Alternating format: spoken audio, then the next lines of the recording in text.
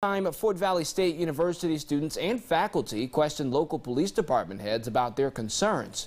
41 NBC's Elaine Rackley has more on the university's policing and race panel discussion.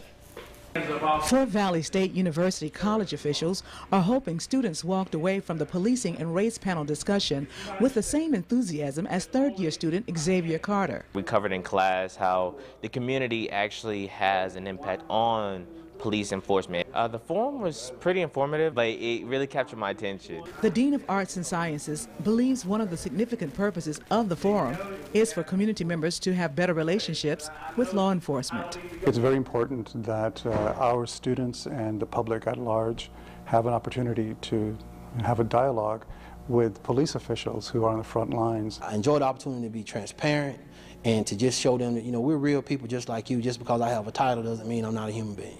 Fort Valley's police director, Lawrence Spurgeon, Warner Robins police chief Brett Evans, and the school's public safety director, Kenneth Morgan, made presentations and answered questions. A lot of people don't get a chance to interact with this level of law enforcement, with dealing with chiefs, and the level of experience and stuff that was on the stage. The police officials say one of the highlights of the forum for them was the question and answer portion. Chief Evans says listening to the students makes him concerned about how policing will change over the next few years. It's important that my officers know and understand, you know, that, that people are viewing them from the outside as well. You can't internalize everything. As an overall picture from the community, there's a, a, lot of people paying attention. The head of Fort Valley Campus Police shared with the audience how interacting with law enforcement can escalate out of control.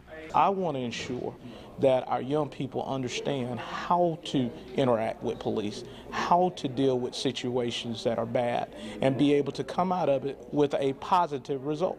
In Fort Valley, Elaine Rackley, 41 NBC News. Dean Mahan says the policing and race panel discussion was so successful, he's planning to host it once each semester.